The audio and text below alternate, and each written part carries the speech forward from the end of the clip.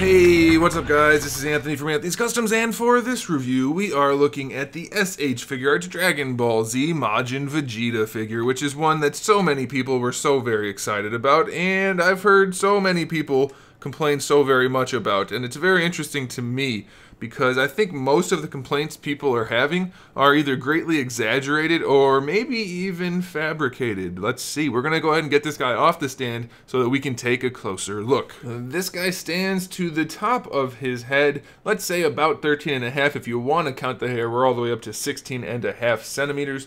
I know it doesn't look like that. That's just the angle of the camera, guys. I have to look at it in real life. That makes him a little over five and a quarter inches to the top of his head and about six and a half inches, six and a quarter-ish to the top of his hair. So pretty much well scaled. I have a Goku here. This is closest thing to the to the new Goku we're going to be getting, so that's why I wanted to use this one as comparison. Vegeta is definitely a little bit tall. And I mean, his his scale has changed drastically throughout the series. So is it an absolute deal breaker? Probably not. Uh, it is something to note though that Vegeta definitely has a lot of size in this version, and like I said, I know it's not as necessarily inaccurate as some might think, but it is worth mentioning. It may be a little bit depending on which artwork you're referencing. Now, overall, this guy, the aesthetic's not terrible uh, a, a, lot of people, at least as far as I can tell, and of course it's always just the people that don't like things that are the loudest, so you end up seeing that, and people that are happy tend to not bother commenting and things like that. So, you know, it's hard to judge what the general consensus is by collectors, but I've heard a lot of people say that he's very glossy. And there is some shine to him. You can see on his chest in particular, there is a little bit of shine to him, but I would hold that it is not inconsistent with this guy. And nobody said that about this guy as far as I can remember. So his chest is just as shiny.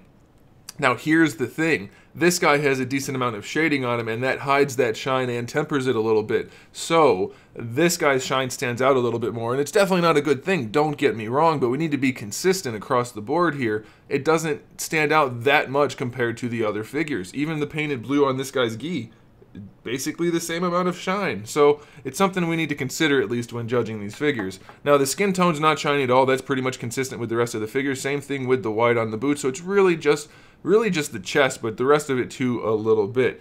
Uh, now, like I said, there's almost no shading on this guy. It's very strange how he's completely devoid of shading on the skin and on the suit. It's definitely a bummer. Uh, the only real shading I can find is right here along his hairline, and I think that's done well enough. Would I prefer a little bit more? Yeah, I think so, but it is nicely feathered in there and it doesn't stand out too bad, so I like it. Uh, there is one other issue with the paint, and that is that the upper body here is clear, clearly painted, the part that's on top of the blue. It definitely could be painted a little bit better, and not in the line work so much as the coloring. It's not quite right, and in some places it's slightly translucent. Definitely not a deal breaker, but it's worth noting. Now the last thing that I think people have probably had issues with, I'm not sure about this, I don't know if I've heard anyone say this, but this part of the plastic right here is a different color. I don't know how well that's going to show up on camera, but the blue here and the blue here, not the same. This one's a lot duller. This one's a lot more vibrant. It's not going to be hugely noticeable once you pose him, so I don't know again if that's going to be a deal breaker because this guy does do a lot of things really well, and we're going to get to that in the articulation section. But it's worth noting that the blues are inconsistent because that definitely does affect the aesthetic. All right, so let's go ahead and talk about accessories because this is another place where this guy kind of shines.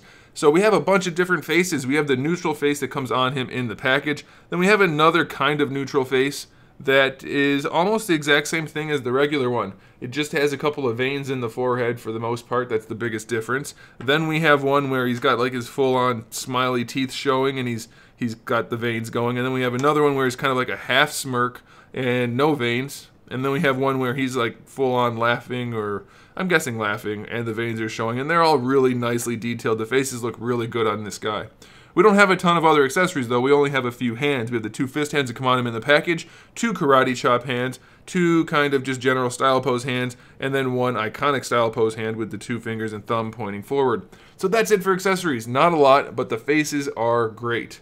Now it's time for articulation, some good and some bad. The first being the head is not good articulation. You can see right there, there is no room for that ball hinge to move. It's a tiny ball hinge and it's going to be a nightmare to pose this guy. So you have to be extra careful when posing this guy if you really want to get some nice poses done. You're mostly just going to get a swivel and that's about it. Luckily the neck is on a ball peg and that does help the posing a good deal. For the shoulders, we have a butterfly joint, which is pretty well executed, not too bad. A ball peg that connects the arm to that, and then we have our hinge, which doesn't quite get the arms all the way up, so that's a bit of a bummer. The rotation, no problem at all. Bicep swivel, double jointed elbows, and a ball hinge wrist, which is just about fine. Now the wrists, I mean the hands and the gloves don't quite match because the gloves are painted, hands are molded. They could have done a little bit more to make that work. Nice thing though is the sculpt on the arms are very nice with the veins added. We have a ball peg and a hinge here for the torso, so you can technically lift him up to make him a little bit taller, squash him down a little bit, but that's really just to help him lean over and lean back, and it works pretty well. Going side to side, it's not so great. It's not bad, but it's not great. We do get a little bit of rotation, but on mine it's very stiff and doesn't afford much, so you're going to have to use that rotation down here at the waist, which does also have a hinge on it, so you can lean him forward and back on there as well. And there's a little bit of leaning, but that's about it. Now for the hips, we get really good range going out to the side. Maybe the best yet with these newer hips. Very, very well executed. All the way forward, all the way back. Excellent range of motion in the hips. Thigh swivel's fine. Double jointed knees, very nicely executed. And then we have the ankles, which are garbage. We have that double ball peg combo, which lets the foot go forward a little bit, goes back a little bit, and it has a tiny bit of an ankle rocker. This is a step backwards. These are really bad ankles, relatively speaking. And then we have a toe hinge, which is okay. So posability-wise, this guy's going to be able to pose really nicely. Uh, aesthetically, he's not the best looking figure in the world. There's not a whole lot of paint there, and the two-tone blue is definitely a bummer. Any sort of neutral poses are going to make that stand out, but dynamic poses should be just fine. So I'm going to recommend it. I really like the articulation. I don't think the shininess is a huge issue because it's not going to stand out across the across the rest of the line too much. So it could be better, but it's not anywhere near as bad a figure as I think some people are making it out to be. So I would say don't miss the boat. If you want one of these guys, grab one. And then if you don't end up liking it, you can always sell it off or something. But if you end up not getting it now and it turns out people end up buying them, you could be in a bad situation. So make sure you grab one if you think you might want one. So there it is, guys. Thanks for watching. Make sure you subscribe to the channel. I have new videos up almost every single day. We talk about action figures, movies, TV shows, video games, all kinds of fun stuff. So make sure you come back for that. Subscribe to the like button, like the bell, and in the meantime, keep collecting.